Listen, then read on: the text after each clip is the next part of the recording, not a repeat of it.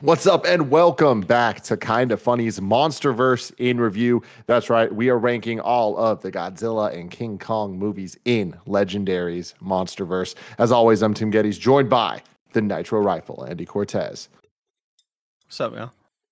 the Big Dog, Kevin Coelho. Tom Hiddleston's in this movie. Do you guys remember that shit?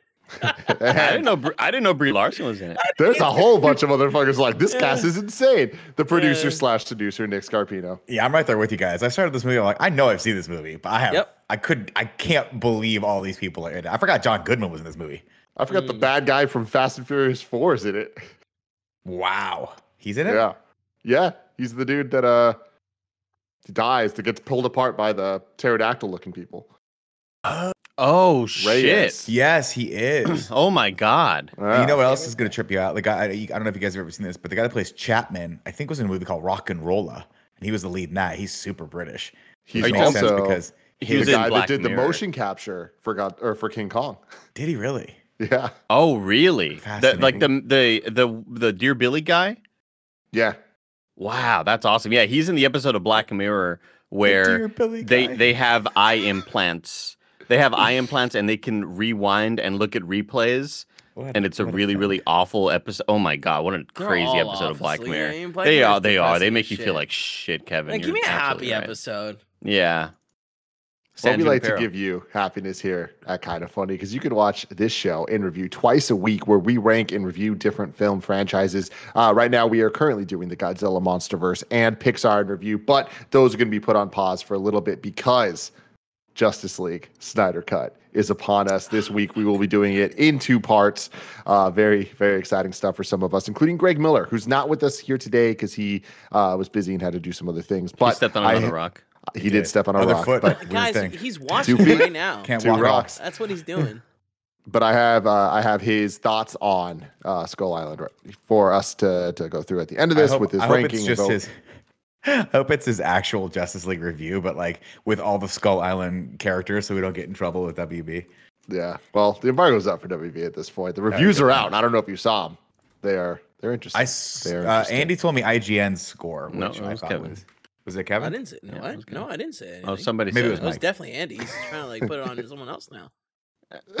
Uh, But anyways, like I Wait. said, you can watch this on youtube.com slash kind of funny, or you can watch it on roosterteeth.com. If you want to listen to it, search your favorite podcast service for kind of funny reviews. If you want to get the show ad free, you can go to patreon.com slash kind of funny, just like our Patreon producers, Danelle Biologist and Sven McHale did. Thank both of you. And thank you to our sponsors, BetterHelp and Babbel.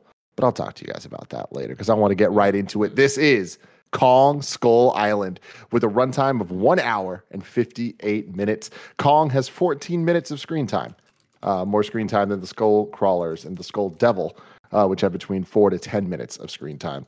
Honestly, it felt like more for both Felt of like way more. Yeah, I'm, I'm pretty surprised. Good use of the, the time there. Uh, released on March 10th, 2017, directed by Jordan Vogt Roberts, an American film and television director. His feature directorial debut, The Kings of Summer, which is a dope movie, screened at the 2013 Sundance. Film Ah. Festival. Let's just screwed everything up. I'll be right back. The film also won the Narrative Feature Audience Award at the 2013 Film Dallas International Film Festival, uh, and then he did Kong Skull Island. And the next thing he is working on is the Metal Gear Solid movie, uh, starring Oscar Isaac, which is extremely exciting. Uh, a funny thing, a fun fact about about this here is director Jordan Vogt Roberts co-wrote and appeared in the honest trailers of his own movie, highlighting some of the legitimate flaws with the film uh, such as massive, in his own words, structural problems, lack of character arcs for the most of the human cast, and the fact that there are too many human characters to begin with. Uh, so that's kind of fun, being able to pick your own shit apart. cool. And I hope that he learns lessons from that. You know what I mean? I mean, it sounds like a lot of the stuff wasn't up to him.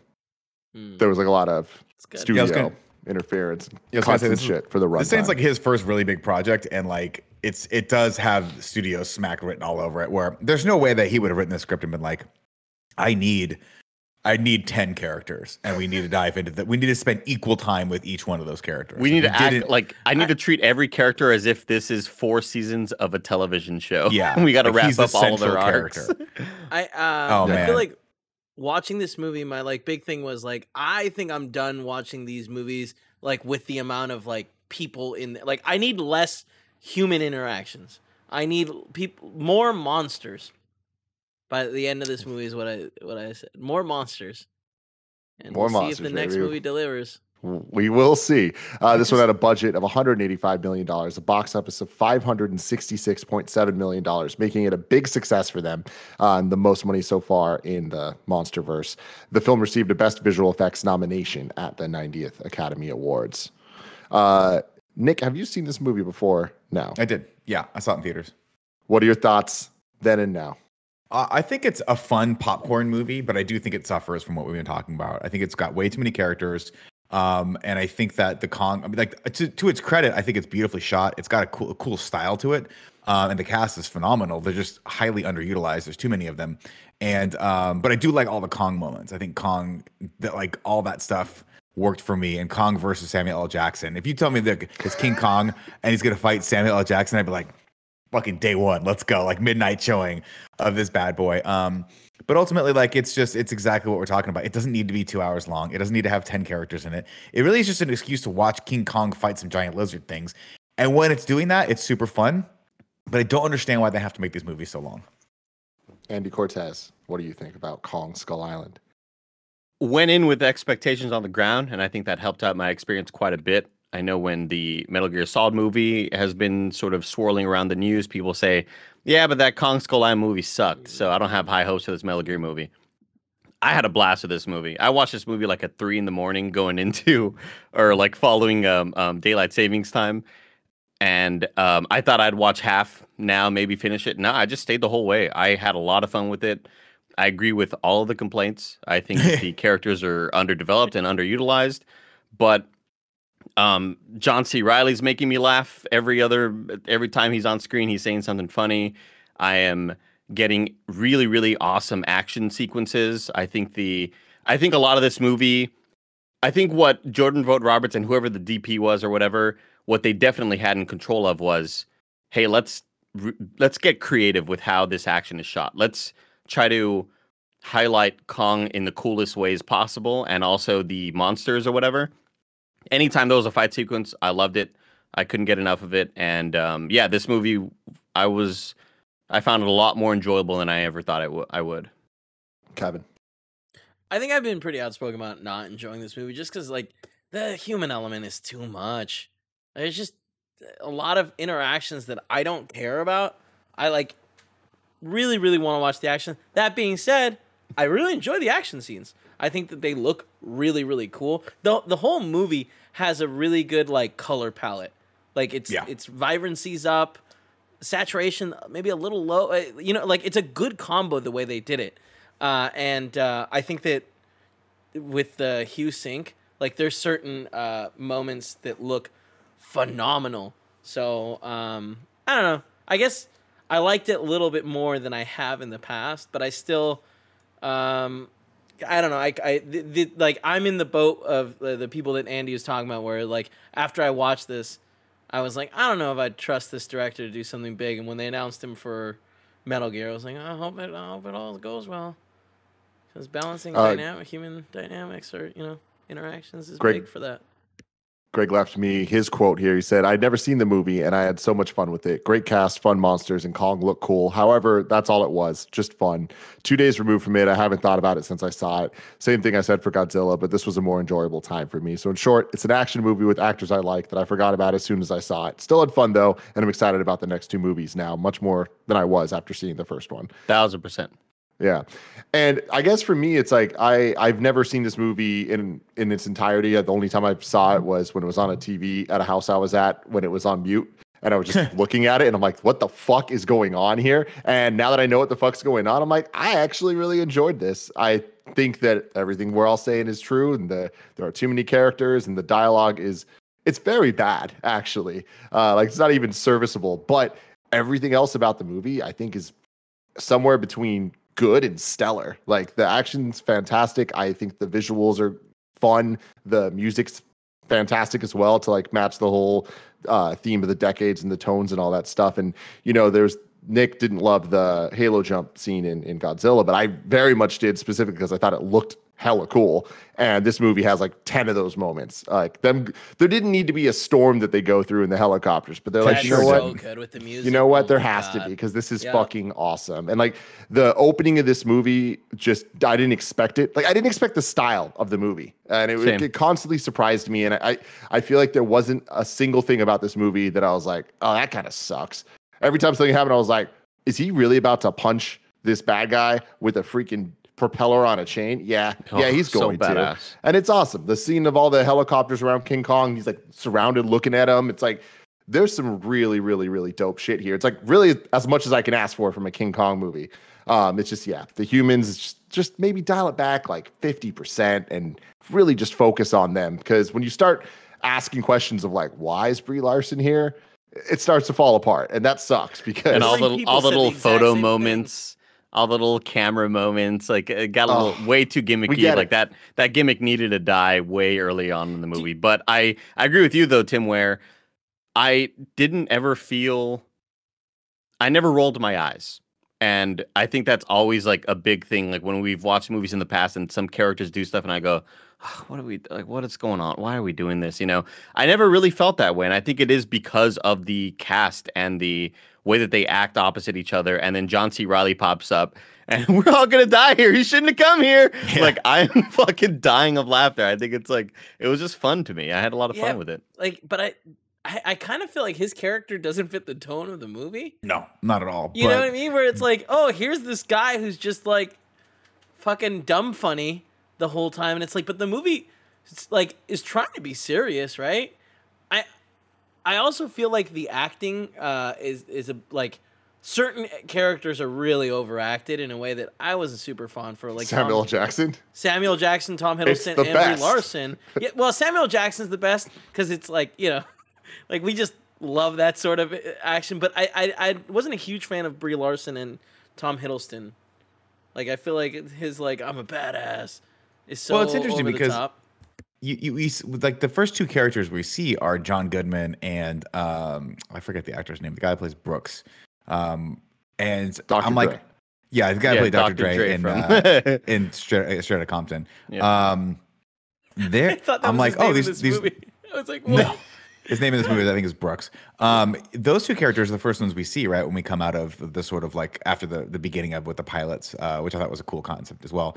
And I'm like, oh, cool. I'm into this. These guys have to like piggyback on this expedition. They're gonna have a military thing, and that's gonna be um, that's gonna be uh, the whole movie. And then they get they get into Vietnam. They're like, no, we we're okay.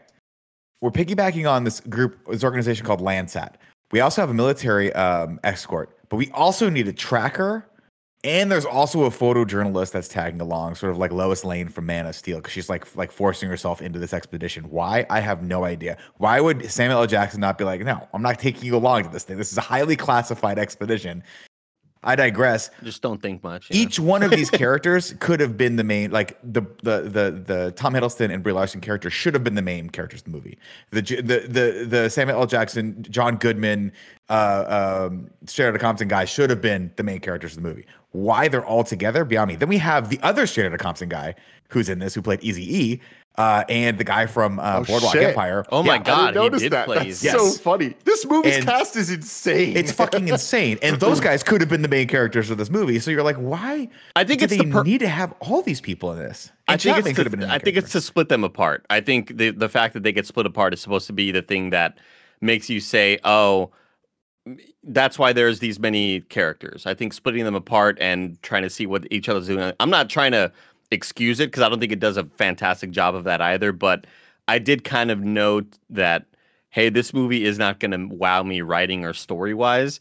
I do think some of it is interesting. Just the idea that the stuff that John Goodman says, I just love. I love the backstory to the to the plot, and I love how John Goodman's like, "I brought you here for this reason." I love that moment of discovery between him, him and Samuel Jackson, where he's like, "You fucking knew what you were doing when you brought us here." Again, the writing's not great, but I I think those revelations are really neat. But yeah, too many, a lot of characters. But it's also one of those things where they talk about like like did you catch John Goodman's backstory? Because if you weren't paying attention, it goes by real fast. He was on a ship that was taken down by one of the Mutos, right? And he talks about that, and he's like, "I was on the Wanderer," and I'm like, "Wait, was that one of the ships we've already seen?" I don't know because it's so fucking confusing. Does everyone? Do, it was everyone at some point on this island or doing something? I don't know. Like, No, I think I, I think the ship that the Muto took down is what Kong used the propeller from to kill. so how did John Goodman? I guess he got saved. No, because I thought that was like out in the middle of the ocean or something like that. Oh, I don't know. I Was don't know that- because he wasn't on this island before.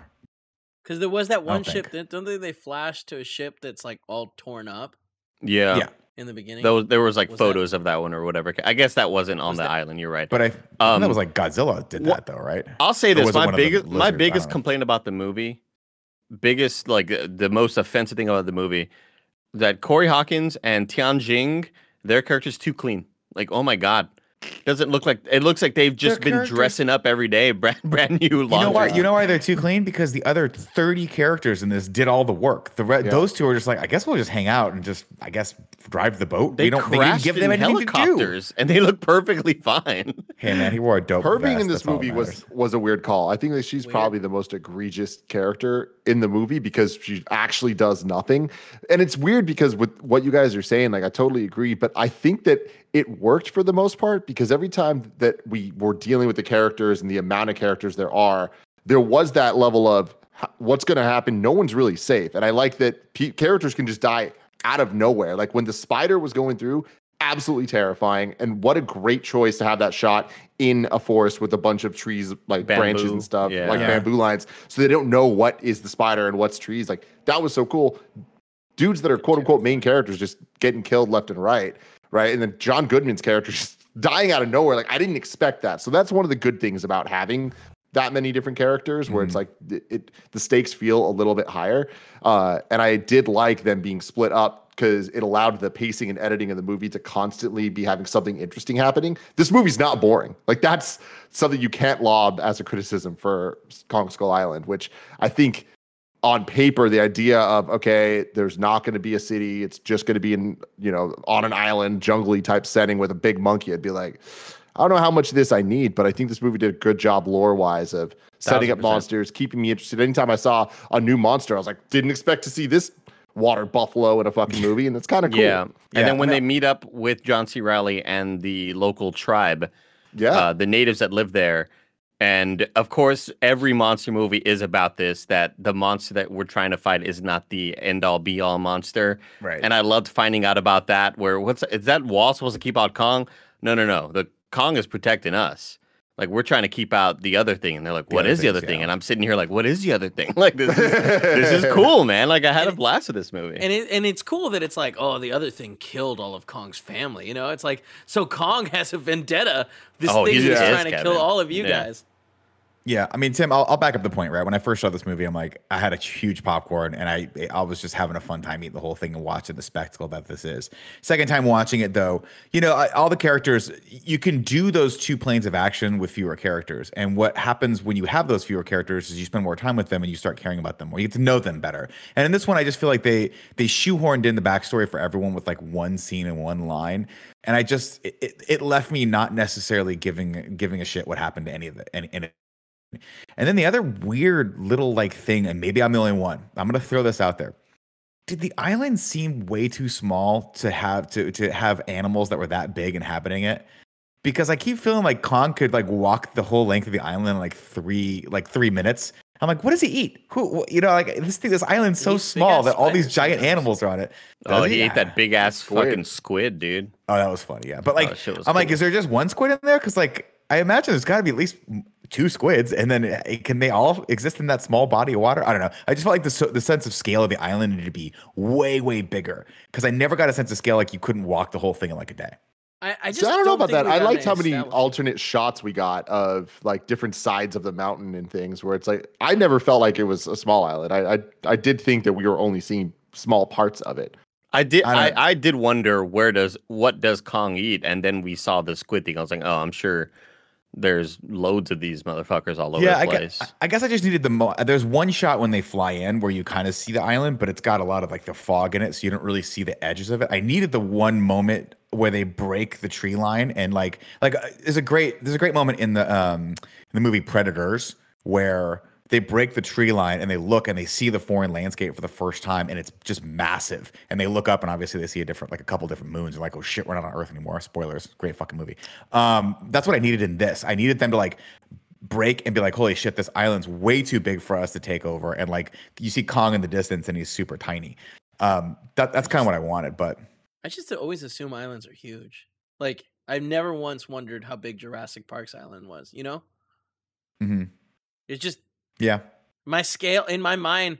Islands just always like I I I don't ever think like something you can walk around in like. a Yeah, I mean, they do mention like you're not going to make it there, and like Yeah, they say it takes You like can't three, walk that we in can't days walk there in three days. I know, but like to me, I just didn't feel it right. With Jurassic Park, I think they did such a better idea because they were filming at a physical location of of shooting the the island in such a way where it actually felt like it was a big, massive island with different different ecoscapes and like different parts and jungles and like the the hotel and all that stuff. We got to see all those instances. In this, I don't think that they did quite a good job of differentiating those. And when they did, they were so starkly different that they didn't even feel like they were part of the same island. Like the I- I bamboo totally- forest, I was like, this feels weird. I totally But- had the feeling that it was as big as it was because when they do get to the natives' land, that seems so quartered off and totally safe. And how could a place that small have an area like this?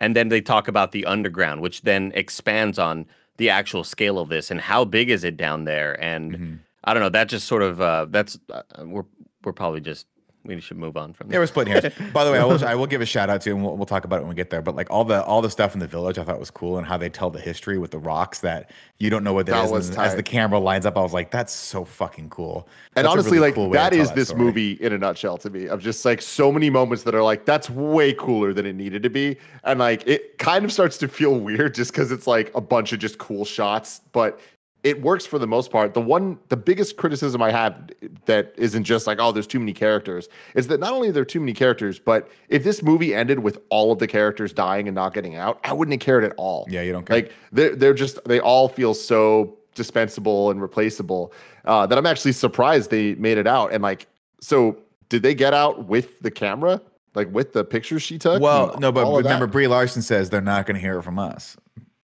Remember, and so that's Yeah. what you're supposed to be like. Oh, I guess Post-credit, not going to. Post Don't, don't.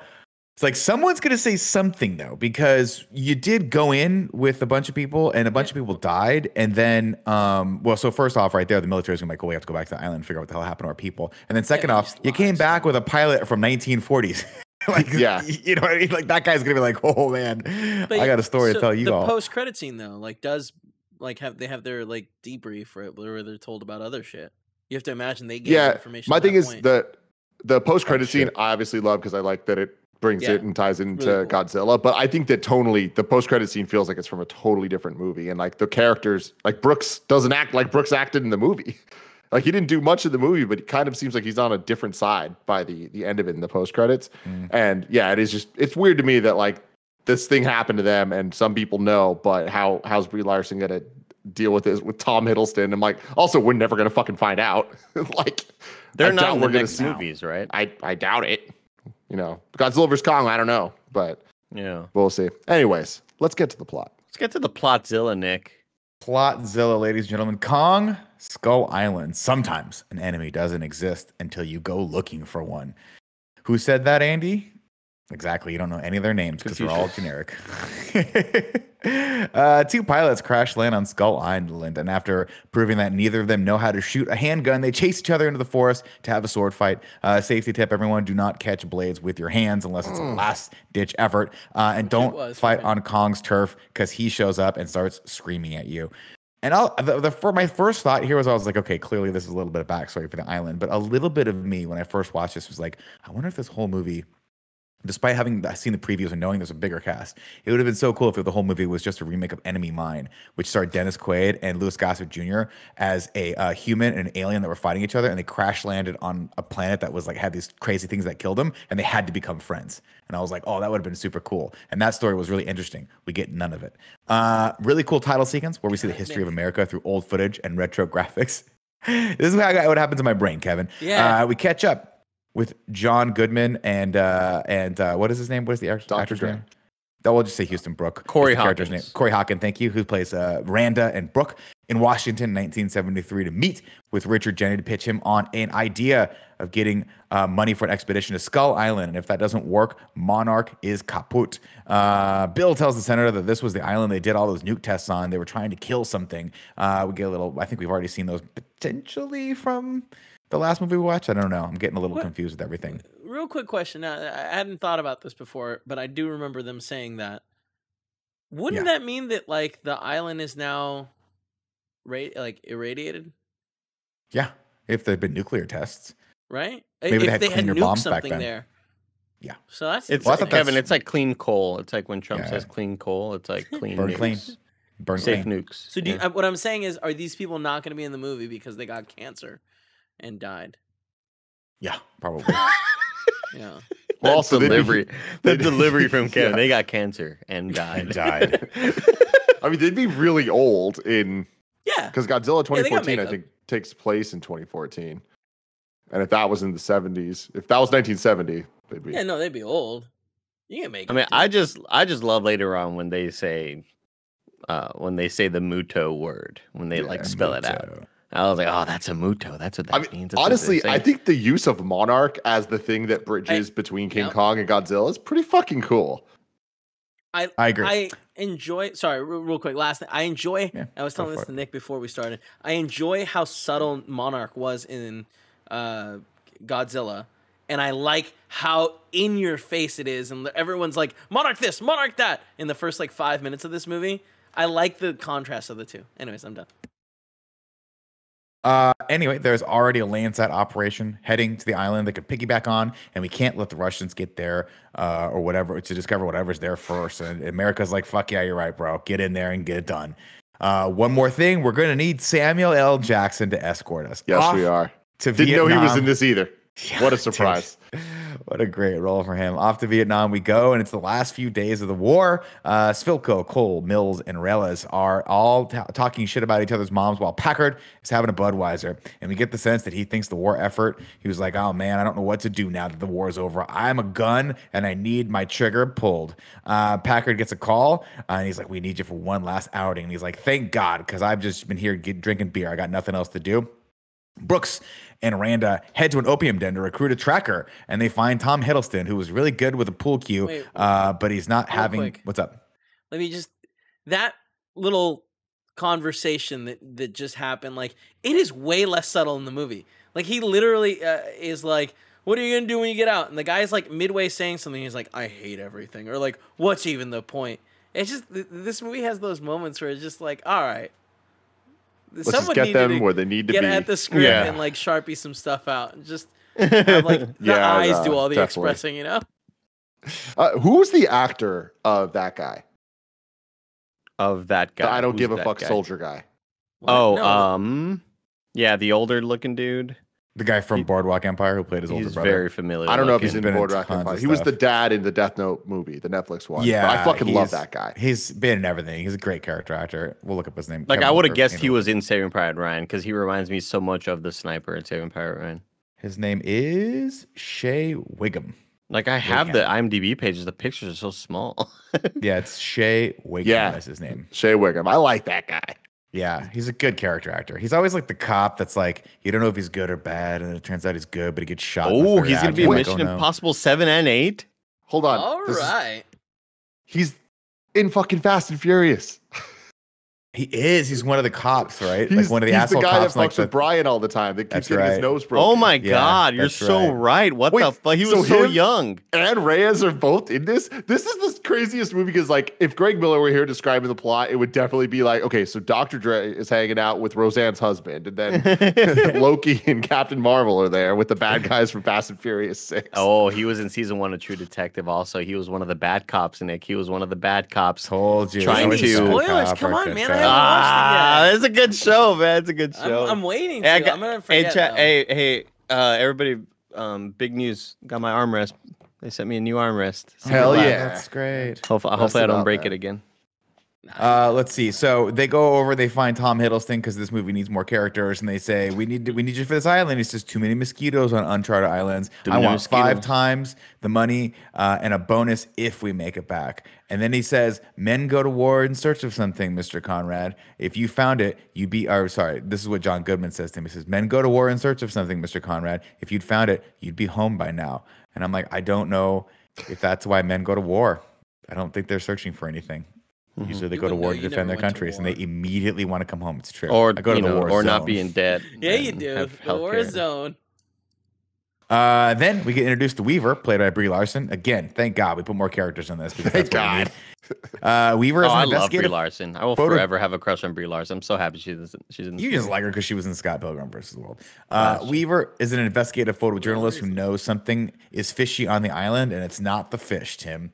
Uh, she shows up the next day and has a brief but great scene with Samuel L. Jackson where they spar, where they, where they verbally spar. Uh, and then I was like, man, maybe these two should start a movie together set in the 90s where one of them gets superpowers. She says, You're not actually blaming the people without guns for losing the war. And then Samuel L. Jackson replies, The camera is way more dangerous than a gun, and we didn't lose the war, we abandoned it.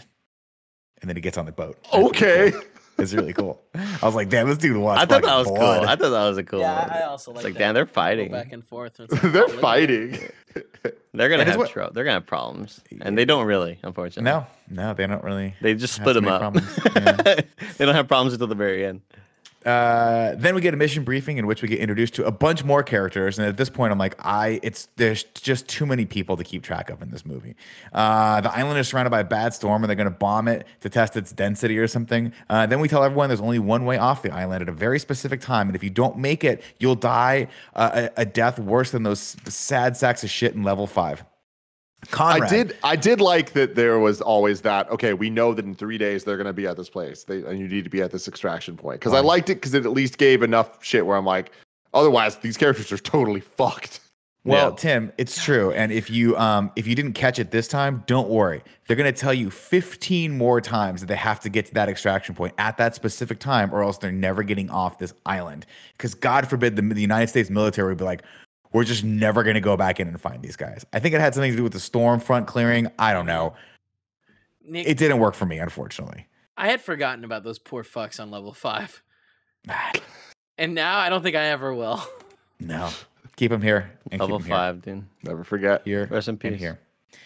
Uh, let's see. Uh, Conrad and Weaver, we learn have a history together. He's ex British intelligence, and she's an anti-war photographer. Um, and I guess they're trying to build some tension there, but it never really comes to fruition. Uh, similar to how the Brooks and and uh, San thing just they he like flirts with her one time, and I'm like, dude, this we don't need any of this in this movie. Uh, it's at this point that I realized the dude who played Easy E is in this too. And I'm like, how many other cast members from Straight Outta Compton can we include in this Monsterverse, Tim? We'll have to wait and see. And then I thought to myself, wouldn't it be awesome if they got Paul Giamatti to play a hermit crab? it would, Nick. Yeah. See, that's the type of shit I want to see, like the spin-off movie, like the short film of of John C. Reilly of just what he's hallucinating on that fucking island, and, and it's Paul Giamatti as a hermit crab. I'd like to imagine. Giamatti. I'd like to imagine that John C. Reilly was after watching several seasons of Cubs baseball was like, send me back to the island. Like I Yeah. can't do. This Just get me back out there. Yeah. Uh, Nieves wants to call a mission because of bad weather, so Randa calls in Colonel Packard, who we all know has a death wish. Hold on to your butts. We're going to see a big monkey. The gang heads over to Kong Skull Island, and it's really hard to get to because there's a giant storm they sometimes have in the Caribbean, which only surrounds one island, but does so perpetually. Uh, just like when I first moved to San Francisco and it rained for 40 days straight, and I thought I made a huge mistake until I met Greg, who confirmed it. They fly into the hurricane and it immediately goes to shit. So Packard tells everyone the story of Icarus, which is not the story I'd want to hear if I was about to die in a helicopter crash due to lightning. But he tells it to him anyway, um, and I don't really understand it. But Samuel L. Jackson could fucking read the menu at Burger King, and I would love it. So I uh, they- loved this scene. Everything about it was just so ridiculously cool. it's pretty dope. It's because it's Samuel L. Jackson who's like the story of Icarus, and I'm like. "Ah, Cool. I'll listen to this for five minutes.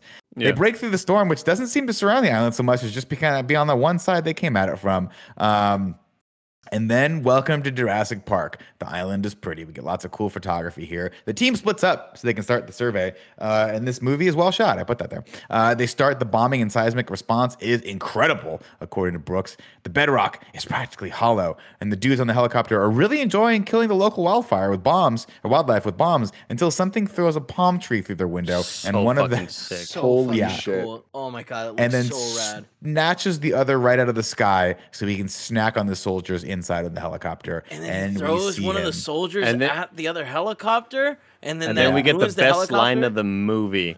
Is that a monkey?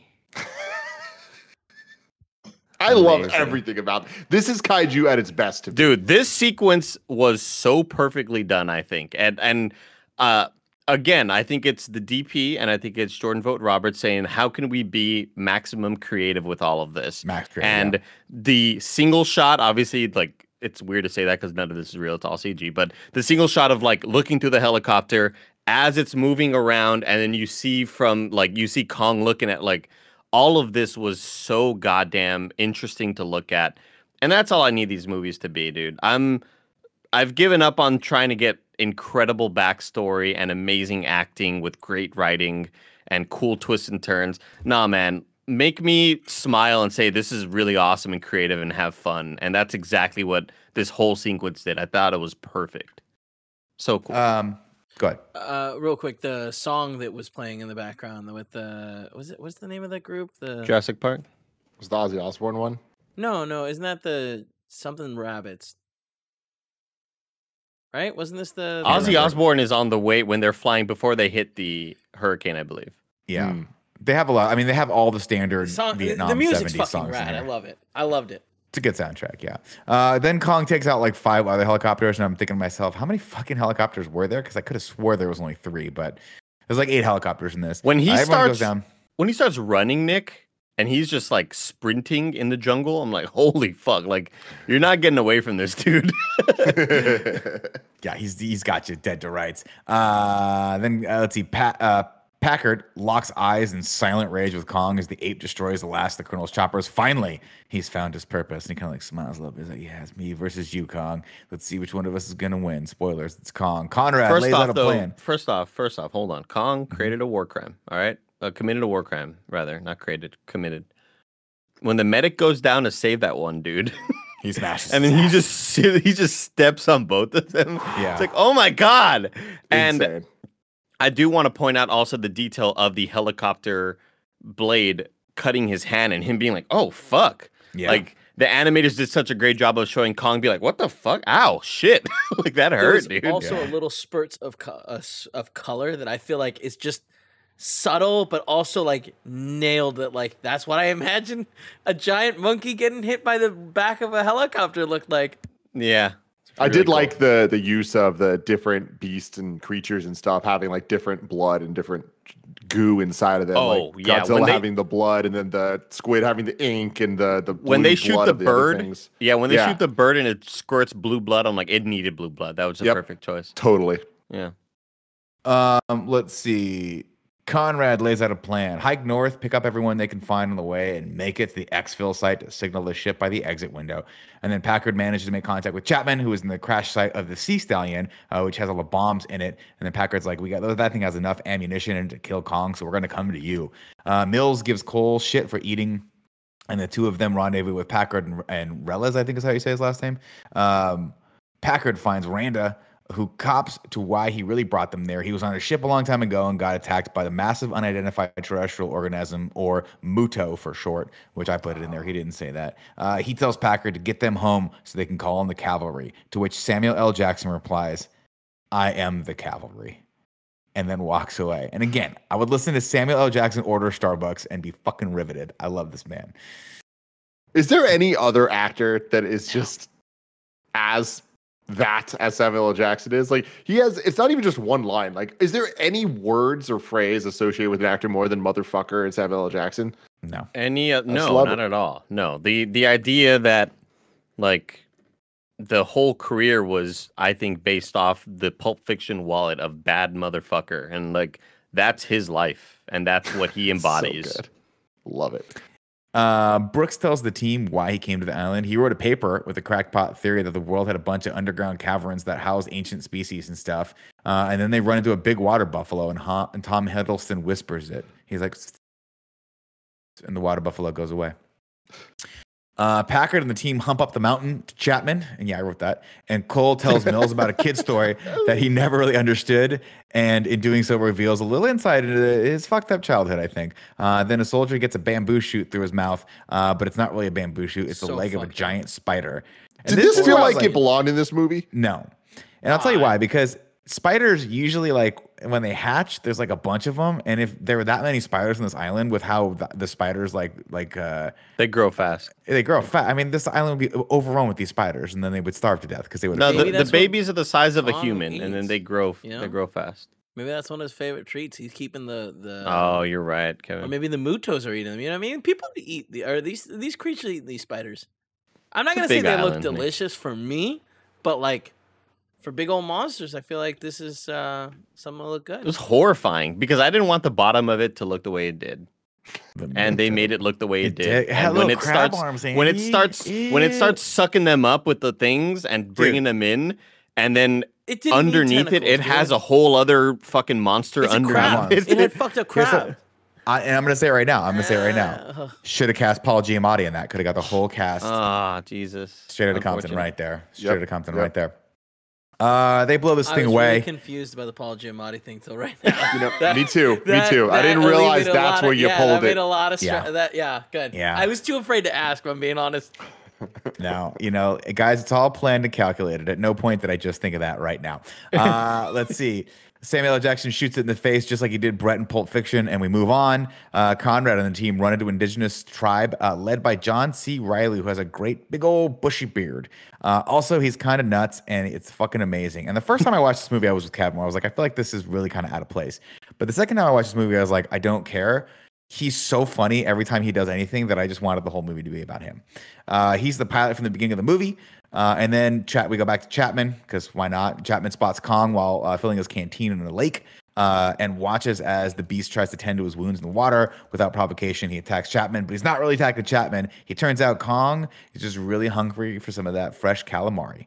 Um, Man, this whole sequence is cool shit. yeah, I, thought I, it was pretty fun. I thought it was like terrifying, obviously for him. I thought he was gonna get caught, and then seeing the ink just fucking explode out of the squid as Kong is like destroying it, so goddamn cool. But it, King Kong, be careful, okay?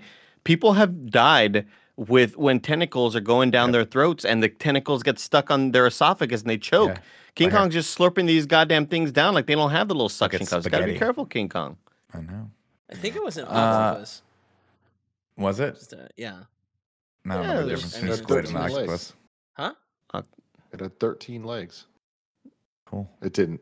I have no idea how many legs Oh. it had. I, I mean, from the brief think. googling with all the monsters, it's definitely an. No, octopus. I mean, it looks like an octopus in the pictures. There you go, octopi. Uh, Octopus Prime. Marlow brings Conrad and the team back. Very, very delicious. Uh, back to the team. Back to the wait, Kevin. What do you like? You like fried calamari or you like uh, grilled calamari best? Fried. Well, I mean, I'm talking about octopus, not calamari. Calamari Uh, is either squid. one. Yeah. I'm. How do they? I mean, no. I'll have either. shit I'm. I'm, I like it fried. I like it grilled. I like it covered in panko. I like it raw. You know what I mean? Before we move on- Oh my God. Let me tell you about our sponsors. This episode is brought to you by Babbel. Je ne sais quoi. And if you don't know, that means I don't know what. Like the thing that is missing. You know what I'm talking about? I don't know what it's missing, but it's missing it. And I learned that using Babbel, just like Greg Miller's been doing. He's been trying to learn French uh, to be able to, you know, communicate a little bit better with his wife, and it's been going great. Uh, Babbel has made the whole process addictively fun and easy with bite-sized lessons that you'll actually use in the real world. Babbel's 15-minute lessons make it the perfect way to learn a new language on the go. Unlike the infamous language classes you took in high school, good riddance. Uh, Babbel designs their courses with practical, real-world conversations in mind, things you'll get to use in everyday life, not just trying to find where the library is. Ain't that right, Kevin? ¿Dónde está la biblioteca? Thank you very much. Their teaching method has been scientifically proven to be effective. With Babbel, you can choose from 14 different languages, including Spanish, French, Italian, and German. Plus, Babbel's speech recognition technology helps you to improve your pronunciation and accent. You purchase a three month Babbel subscription, you'll get an additional three months for free. That's six months for the price of three. Just go to babbel.com and use promo code morning. That's B A B B E L.com, code morning for an extra three months free. Babbel, language for life. And next up, I want to give a shout out to BetterHelp. In 2021, talking about mental uh, health is finally a thing, and that's why we're excited to be sponsored by BetterHelp Online Theory. Mental health check in. How are you really? And what do you need right now? Therapy can help you. What is therapy exactly? It's whatever you want it to be. Get some tools to help with motivation, depression, anxiety, battling your temper, stress, dealing with insecurity in relationships or at work, whatever you need. It's time to stop being ashamed of normal human struggles and start feeling better because you deserve to be happy. Uh, BetterHelp is customized online therapy that offers video, phone, and even live chat sessions with your therapist, so you don't have to see anyone on camera if you don't want to. Uh, one of my good friends has been using this and been having a really great time just because of how easy it is uh, and how like private and secure it all is, and he just feels very comfortable with the whole process. You can join the millions of people who are seeing what therapy is really about. It's always a good time to invest in yourself because you are your greatest asset. This podcast is sponsored by BetterHelp and Kinda Funny Morning Show listeners. You can get 10% off the first month at betterhelp.com slash morning. That's better, H-E-L-P dot com slash morning. Betterhelp.com slash morning to get 10% off your first month of BetterHelp. Kevin got really into that just there. He Yeah, was he like did. covered in panko. I was like, oh yeah, yeah. I me about the really so here's the whisper thing. I went to panko. Nick. I went to Costco because it's been a while and I need to re up on like toilet paper, uh, Nah. Tide, all, all the stuff that I need. And uh, I got there, and one of the, the new items that I hadn't seen before is like some octopus that's already cooked. I don't know if you know this. Octopus really difficult and annoying to cook. Like you got to do a whole bunch milk. of stuff. To, yeah, you have to put it. So it's already cooked, and I re, I'm like I'm sitting here regretting not buying it because I could be eating it, it right, right now. now. Yeah, Yeah, you But like, look, I'm be slurping it down like Kong. wearing no shirt. Maybe we'll burn some hair off your body later. It'll be a good old time. Uh, Marlow brings Conrad, Conrad and the tri- uh, and the team back to the village. Once inside the wall, he tells them that they're safe there. Uh, but the wall, they're like, "Oh, Kong can't get in here." He's like, "You're not." He's like, "Kong's not the one we're worried about. He's the protector. There's something else out there." And that's when Andy got really excited. I got really Um, excited right there. Also, shout out to HBO Max. I just brought it up right now, brought up the movie, and they let you full screen in full 21.9. That's really awesome. Oh, very. They cool. don't just like they don't just like cut it off and still have the black bars up there. They let you go full screen on 21.9. It's awesome looking. Hell yeah. Uh, also, real quick, it's definitely called the Mire squid. It's for sure squid. Oh, it's a squid. bad. Yeah, my bad. Oh. Got squidded. Yeah. We all got But some I'll eat Myers some squid calamari. You know what I mean? Cut it Hell up, yeah. Fuck down. yeah, dude. I'm hungry right now. If you brought some Steam over, I would be like, okay, no, I'll I'm not going to have any. And then I'd be like, I would just eat the whole thing. How big do you Uh, think his beak is? It's big, right? The squid? Yeah. Oh, At the the size of a Honda. Oh, it's probably the size of like yeah, maybe my whole body because it's those you things think are that bad sharp, boy can cut Kevin. you in half? They yeah. can, they oh, can yeah. crunch Oh, on on yeah. Oh my anything. god, yes. Uh, also, he drops a little line here. Where he's like, the people don't seem to age at all, and I was like, oh, okay. And then he's like, what happened with the war? Did we win?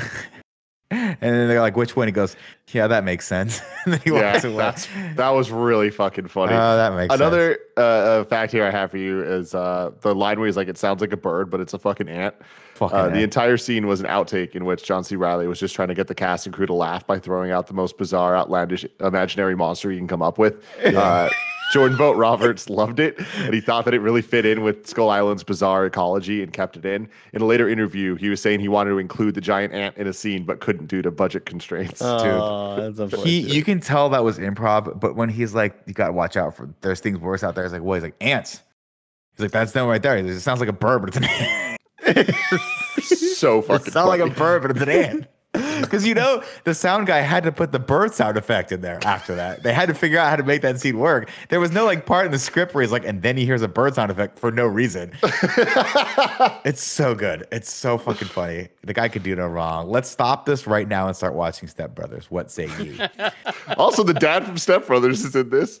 Richard oh, Jetty, yeah, that's right. Oh, yeah. Jenkins, Richard Jenkins, I think is his name. Um, a I yeah, love he's- that also the like there's the two groups, essentially the scientists and then the army people, and it's like cool, the army people are all in fatigues and shit, and then the scientists are all in these like light blue bomber jackets, and it's like why? Why? I know. Not only that, but like one of the guys at the end, uh, he was like, It was like Samuel L. Jackson's like, you gonna, are you going to come with us? Or is, are you going to go with them to the boat? Or are you going to come with us and like get off the porch or whatever? He's like, well, I don't want to be on the porch by myself. I'm like, you don't have any military training. You go to the boat. Go to the Yeah. boat. I Let the guys that just got out of- was the the guys that dumbest sur- line. like you're with a team of people that survived Viet fucking Nam. Don't go with them. You you're not going to survive. These guys are going to outdo you every single time. Uh, let's see. Marlow takes them inside the hull of the Wanderer, a ship that washed ashore 10 years ago, uh, before his, uh, which has now been converted into a sacred temple that tells the story of the people of Skull Island. Uh, Kong, it turns out, uh, is the island's protector. He keeps order on the island. Really cool way of showing it with the rocks and all that stuff. Uh, and then he says, "Yeah, that's Kong. He's king around here." And I was like, "That's why they call him King Kong." Pretty And cool. then there's a god where they follow it up with like he's a god, and I'm like, oh, they're building up this rivalry, man, because Godzilla, king of the monsters, So badass. Oh, ho, ho. So badass. Uh, Kong, it turns out, is not the massive beast. The bomb woke up a bunch of skull crawlers, which is what he calls them. And he's like, and then he had this is not the greatest improv here, but he's like, I love it. That's what I, fucking call. love it. It's the first time I've ever said it out loud. So if you guys want to call him something else, like, no, no, we'll go with skull crawlers. It's fine. Uh, He's like, there's a bunch of skull crawlers that come from the vents that are subterranean uh, in those substructures we were hearing about about Brooks, and one I'm of them trying to ate scare you, is what he friend. Yeah, he's like, I'm just trying to scare you. I love the design of these things too. Like so fucking cool. Just the the two legs with the tail and the fucking the, the skull with the sideways goat eyes and It, like it took me a while to realize that the the eyes weren't the black holes. Like it, it took me a while to realize that the eyes were kind of located further behind uh, that sort of skull looking thing. Really creepy, cool things. I was Oh, looking in, fucked up. to an interview that uh, Jordan Roberts was doing. He was talking about the design for the skull.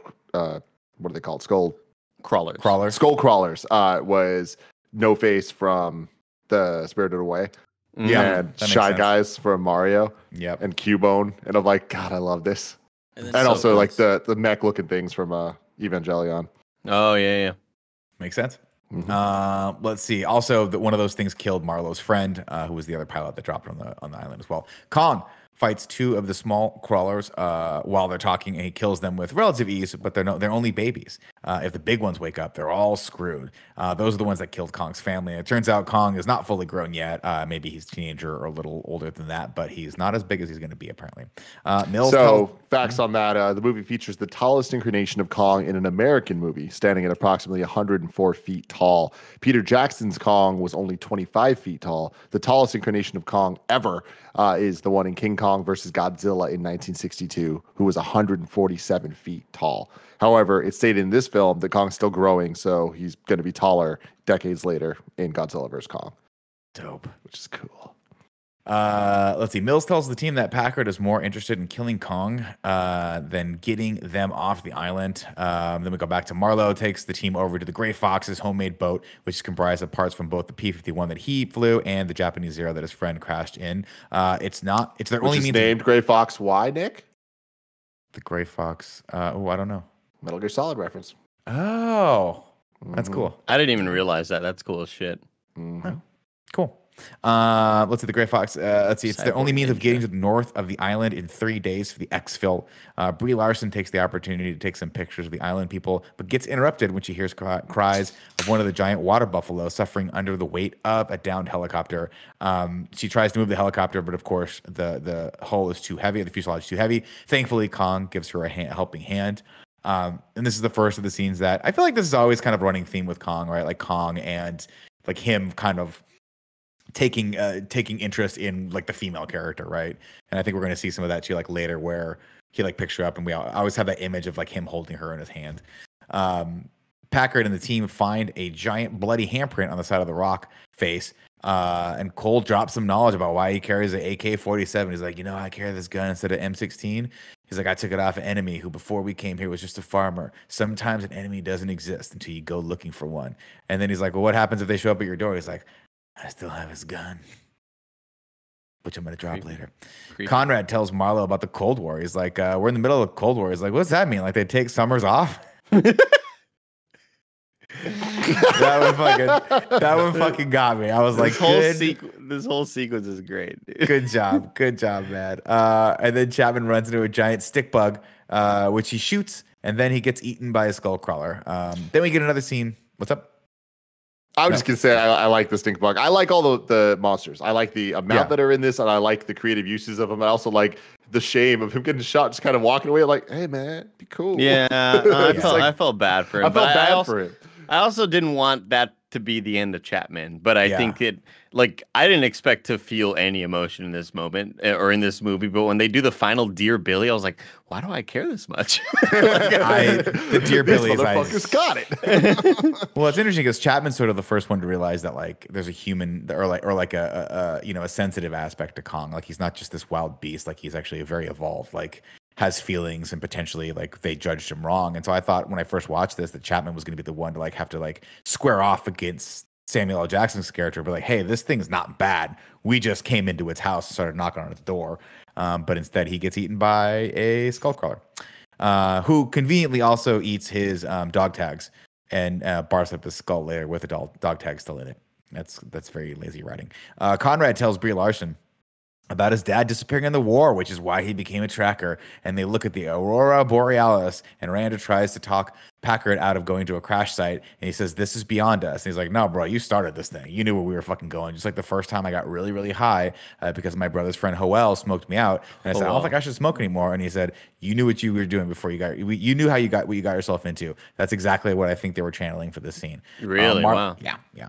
I was high. For, I was high for a day and a half. I woke up the next day and I was still high. My mom's like, "Are you okay?" And I'm like, "I think I'm sick. I'm just gonna stare at this wall and eat a lot of fucking Cheetos." Did, uh, but we we already passed the whole like that whole sequence of the uh the whole like Cold War moment, right? That Yeah. we just referenced earlier. Yeah. Because then the other joke where, he, where he's like, "Yeah, "We sent a man to the moon," and he's like, "Really? What they do? Leave him up there? yeah, What, what are they What's feeding him?" Yeah. I don't know why. Just like anything John C. Reilly says, just always gets me. What they do? Leave him up there? So funny. Uh, let's see. Marlow says goodbye to his fallen friend. Um, it's actually kind of endearing. They fire up the Gray Fox to get off the island. Uh, before leaving, of course, he tells the people of the island goodbye, and they bow slightly to him. And then he says, "Well, if you're ever in Chicago, look me up, I guess." And then they take off. Oh, Uh, so sad. I know. And Brooke uh, flirts with San a little bit here, and we get another scene where Marlow tells um, them about his kid. But when Mills calls, uh, and they, uh, excuse me. So okay, yeah, Mills calls over the radio, and they heed the rendezvous. They go to the rendezvous point, uh, but Nieves gets eaten by some pterodactyls apparently. So his character is just gone. I I'm like, why that. do we have Like, his that's just- character and the other character? Yeah, I don't know. That I that just feels like such a how do we write out these people that don't need to be here this late in the movie? Yeah, that's one of them. Uh, they catch up with Packard, who who wants to go west to find Chapman, but Marlow tells him that he's crazy because uh, that's where the skull crushers or crawlers, crushers, I don't know, Skull uh, crawlers. crawlers live. So they, uh, but instead of uh, arguing with him, they go anyway because Tracker's got a track. Uh, I do love this part too because he's like. I didn't write it down, but it says something like that. He's like, "We got a we got a saying on this island: uh, south south is bad, north is good, or whatever it is." Southwest. Southwest? Sometimes. Yeah, questionable. sometimes. it's so stupid. It is But so it- stupid. but it I, works. I like it though. I, I mean, I think it fits his character just based on like him being alone on this He's island. just zany as fuck. Yeah. Like I, I buy that enough as a premise to allow him to act this way, and I think that it's this type of humor that is still grounded in the world that I think we don't get a lot from these type of kaiju movies, and I wish we did because mm. I think Godzilla, the last movie, could have used this, but got it here. Very true.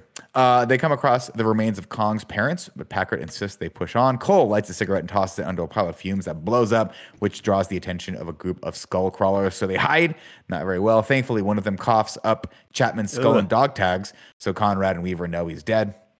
Uh, Randa gets eaten, so they set up a 50 cal on a Triceratops skull and watch. I think this scene's like very, very Dude, cool. They watch so as the badass. flash bulbs going off, like revealing sort of where he is, but only for like the moment that it goes off. I'm like, that's that's actually pretty fucking. it's a perfect sort of little element to make this scene what it is because I, I didn't know what they were going to do i thought it was just going to be this flash is going to draw them towards him, and that's all they're going to utilize this sort mm-hmm. of this you know i don't even know what the word i'm looking for is right now but the idea that it then gets digested and that's going to then lead into where is this thing coming from i think it's so badass especially with how foggy and um, just creepy this whole area is. Also, when they're in this area, I'd be like, dude, maybe don't breathe. Like this doesn't feel safe to breathe in. Yeah, like this is dangerous for sure.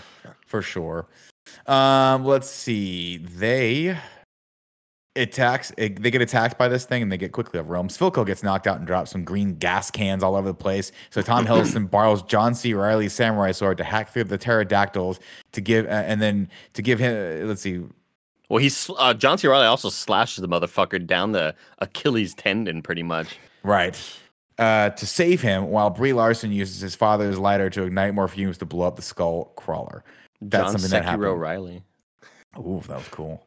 Mhm. Uh, Conrad tells Packard that Chapman is dead, but he doesn't care. He wants to kill Kong. That's what he's really all about. Marlow tells him it's a bad idea. He's like, "You kill Kong, those skull crawlers will take over, and that's going to upset the ecosystem." He's the only one stopping it, keeping everything at bay. Uh, but then yeah, let's see. Uh, then John C. Reilly tells him to watch out for ants because it's hilarious. Sorry. Marlow tells Conrad they need to stop Packard, uh, but they decide to split up instead. Then John C. Reilly has the great line about ants. He's like, "There's one. It sounds like a bird, but it's a fucking ant." and then Packard and the team reach the Sea Stallion and prep a trap for Kong. Meanwhile, Conrad and Weaver hang out with Kong. Uh, Kong. This is a great uh, scene where he just kind of walks up to him, and then uh, Weaver touches him for the first time, and they realize they got to save this thing. Uh, they spot the trap off in the distance and tell everyone else to head to the boat, and they're gonna go save King Kong. Uh, Packard lights Kong on fire, and the squad watches in horror at what they've done. But Packard kind of gets it. He's like, "I'm getting this is turning me on." Uh, until Kong actually is not dead and starts throwing napalm flavored water at them uh, before passing out. Packard finally getting the upper hand, orders his men to place their charges, but Conrad Weaver and Marlow interrupt him uh, and turn Slivko against them. Uh, things look like they're going to go okay until the, one of the big skull crawlers finally shows up and everyone runs away. Uh, Packard still tries to kill Kong, so Kong is like, you know what, I've had enough of this shit, and just smashes him in the ground with his giant paw. Um, and then Cutting he him the off, saying Yeah. motherfucker. It's just the best. Like the absolute best. How did we get two different movies that Samuel L. Jackson dies like in the middle of saying motherfucker? We're Right, we- blessed, yeah. everyone. Infinity War. Right. Right. It's also very Uh, similar to his death in uh, the blue Deep, Deep Blue Sea. Deep Blue Sea. I'm Yeah. not gonna let these motherfucking sharks. Oh, that was Sticks on a plane. Yeah. But anyway, you guys get that. You get, God bless him. I just It was just close to that though. It was close to it that. was. He's saying, "We're like, I these sharks win." And the thing came out. You know, I was like, "Did they just Yeah. kill Samuel L. Jackson, the biggest star in this movie, off in the first 20 minutes of the movie?" Doesn't matter. Uh, anyway, Kong and the Skullcrawler start getting it on, uh, and then Cole sacrifices himself for the team, but fails absolutely miserably, uh, and then just gets punted into a rock face and blows up as Weaver climbs a mountain. to Man, it was like Wait a a- minute. It was the What? perfect play, though. It was the perfect play, dude. This guy work. was gonna say, "Eat me," and I'm gonna explode in your fucking stomach. And this thing, the skull crawler, knew big brain in this big skull, and it knew. Nah, I know what you're trying to do. Let me tail whip you into oblivion. Tail whip into damn. oblivion is the best way to fucking put it, Andy. Thank you for that. I love this. Again, I think this movie has like three or four moments that I just straight up did not see coming and made me go like, "What the fuck?" And the spider leg thing was one of them, and That was one of them. John Goodman dying was one of them for sure. And this was one where I'm like, "Oh, the plan didn't work. He's gonna do the epic hero sacrifice." Nope. I, I mean, it was. It would have been a great sacrifice because it's him just saying, "I'm done fighting. I'm tired of." yeah. You know, I've I've I've fought all I've wanted to, and now let's end it or whatever. And it, ah, it's just so sad. Agreed. Uh, let's see. Then Kong comes back for round two with the skull crawler and beats its ass with a tree, but gets thrown into an old ship and entangled in its anchor. Brooks comes in with the Gray Fox and opens fire to buy Kong some time, while Weaver uh, shoots it with a flare uh, as the screenwriter struggles to give the humans something compelling to do, while Kong frees himself and then skewers the skull crawler like Scorpion from Mortal Kombat with a chain uh, attached to the propeller. So Uh, cool. Kong saves Weaver from drowning Amazing. and then jams his hand down the skull crawler's throat, ripping his stomach out through its mouth, uh, and then walks away like a motherfucking G as Weaver and Conrad watch. So Uh, he was wait. So he was holding Brie Larson the whole time while doing that with the same hand. I didn't quite grasp that, but I think yes, unfortunately, Yeah, he was. So That's Brie Larson was in his hand, and he was just kind of using the rest of his fingers to like, let me grab those intestines, let me I grab these imagine, guts, yeah, that's let me it beat up them guts. Because like, Andy, I- I was really God's confused. sakes. Dude, That's not what that means. I, I was I was confused by that sequence or whatever, but it was visually cool as hell. But then I kind of forgot. Oh, you had wait, your hand wasn't just free to grab guts. you you still had Brie Larson in your hand because I'm pretty sure it was the right hand, right? I think so, yeah. And that's what I thought it was too. I had that same question when we came out of it. I'll just put it that way.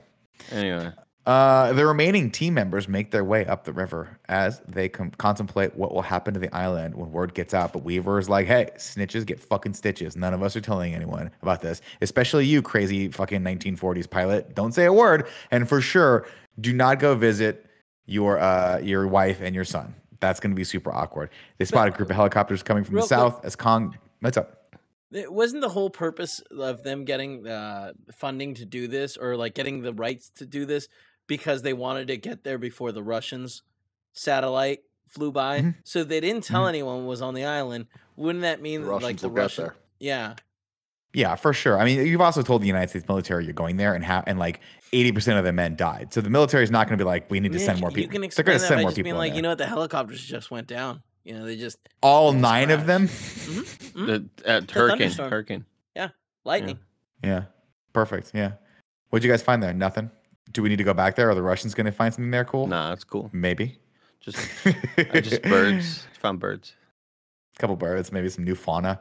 Uh, let's see. They spot a group of helicopters coming from the south as Kong beats his chest and roars mightily. Uh, and then we get treated to a nice little eight millimeter home movie of Marlow reuniting with his wife and son. And he finally gets to have his beer and hot dog, uh, and everything is fine until her new husband comes home. Yep. The end. Exactly what I was thinking. The and then, then we get the little post credit scene where we get Which- to see. I didn't watch, unfortunately. So, Tim, what happens in the post credit scene? Oh, really? yeah, I, I uh, didn't know there was one. Yeah, I mean, essentially, uh, there, there's it sets up the MonsterVerse proper. Um. It's Brie Larson and Tom Hiddleston uh, getting brought into Monarch, uh, and we got uh, Corey, the Dr. Dre dude, hmm kind of explaining like, "Hey, there's more of these things." Okay. And, you know, we got. And they we show need, we need to talk to you guys. We need to know more about whatever. And we see Mothra and Rodan, and uh, the final shot is uh, King Ghidorah and Godzilla, like facing off against each other. Oh, cool. we'll see next week or In a cool, in a yeah, really neat. week. in Godzilla, yeah, it's of like it's uh, I think it's like um, cave like caveman drawing. hmm yeah, it's like hieroglyphic looking Yeah. things. Um, that but then Nick. I, I think you'll appreciate because I certainly appreciated it. It was the sequence is sort of introduced as similar to how Marvel sometimes likes to fuck with their fans, Yeah. where you hear Tom Hiddleston and he's like, "You're still sitting there in the dark. What are you doing? What are you wasting your time for?" And like the screen's just black while he's talking to you, and you think, "Oh, they're just fucking with me, the viewer." But then it pops up and he's talking to a a one way window Mirror, or Winner, what is it? Yeah, mirror. Yeah. Mhm. So he's like talking to them, like, "What are you doing sitting in the dark?" And it's like, "Oh, that's clever." I thought That's he cool. was gonna pull a fast one on us as the viewer to be like, "Go home. There's no post credit scene." Turns Yeah. out it was, and it's really Yeah, cool. I, I think that the post credit scene doesn't fit the vibe or tone of the movie, and the characters has some inconsistencies. But besides that, it's an excellent post credit scene for setting up the universe where that ends, and I'm like, I'm fucking hyped. Let's go, because King of the Monsters gonna be cool. yeah, can be very very cool. Um, let's do a little bit of haiku and review. All right, here we go. Let me just get it ready. Seven syllables in the middle. You'll need five for the first and last line. If you're not poetic, no need to fret it. Haikus don't need to rhyme. Haiku in review. Haiku in review. One of my favorite things we do. Was there Funny audio? Please tell me there was audio. There Oh, was, yeah. Yeah, yeah. okay, cool. it sounded great. Cool. It's cool, cool. fantastic. You can go to patreon.com slash kind of funny to write your review in haiku form, just like the homie Ignacio Rojas did. Mm-mm. Kong shows he's the king. Big MCU reunion. What a great soundtrack. And miscellaneous, of course, coming in with the plot in haiku. Goodman confronting his research. He needs funding for monster hunting. Oh, They fight oh. with the beast, leaving too many deceased, true monsters unleashed. Though this creature's strong for this world, it has not long. Don't fuck with King Kong. wow. It's really good. Miscellaneous. Damn. Too good with the haiku game. That was good. That was yes. Uh, now it is time to do a little kaiju in review. Do do do do do do. Kaiju. Kaiju. Do do do do do do. In Back. review. uh, what's up, everybody? Welcome to uh, Kaiju in Review. What did we do last week? Did we just talk about Mutos. the Mutos? They're number one, right? on the list right now. So where do we want to put the skull crawlers? Are they cooler or I- worse I, than feel like the they're pretty much like very similar to Mutos, but less cool. Now I'll I say think- this though. They're not the only antagonists to this movie. Yeah. So I know we're doing kaijus in review, but I'm gonna say this. There's a person in this movie that's bigger than Kong, bigger than Godzilla, and larger than life. And that man's name is Samuel L. Jackson, and he's the bad Right. guy. So You're I'm gonna right say. I'm gonna throw out there for everyone's peer review uh, that we're gonna go with the Skull Crawlers slash Samuel L. Jackson. I And it's I, go Andy. I was going to say honestly, remove Samuel Jackson. I think the Skullcrawlers are much cooler than the Mutos. I love the design of the Mutos, but a lot of those fights felt like kaiju fights. They felt like the slow, big moving thing, chucking a thing and grabbing on and punching and flying, and um, it felt like big creatures fighting. But I loved the smaller ones get introduced. The bigger one comes on, and suddenly it's the size of King Kong, and King Kong's trying to do the the Peter Jackson callback of pulling the mouth apart and breaking the Tyrannosaurus's mouth, and it just doesn't work. And I think that whole fight is so visceral and intense. That fight alone, I think, is like this. Put it puts it at number one for me. I easily think that the bad guys in this are above last week's, but specifically, it's weird for me because I'm with you, Andy. With skull crushers, or skull crawlers are way cooler than the Mutos, but Samuel Jackson, it, it's such a amazing pro and con for me. Where I love him, he's Samuel Jackson, his dumb one-liners and all. Uh, I'm a bad guy doing bad things. Love that shit, but. It does come to a point where I'm just like, what the hell is your plan in this? Yeah, Why are you trying to fight King doing? Kong? Like, Yeah. this doesn't make sense at all. So it's like that brings it down a little bit, but I still think that overall, like, man, this the action in this one is fantastic through and through, and that's because of the skull crawler. So I, I put him in number one. I agree. Number one, Skull Crawlers and Samuel L. Jackson from King Skull Kong Skull Island. Number two, The Mutos from Godzilla 2014. We'll see where who was the bad guy in the next one. No future spoilers. That was a test. You all failed. Oh shit! I mean, we already mentioned it, but whatever. That was a test. You all failed. And now it is time to rank the MonsterVerse. Right now, number one, Godzilla 2014. Where do we want to put Kong Skull Island? Greg Miller has it at number one. Andy Cortez, where would you put number Skull one Island? for me as well. I agree.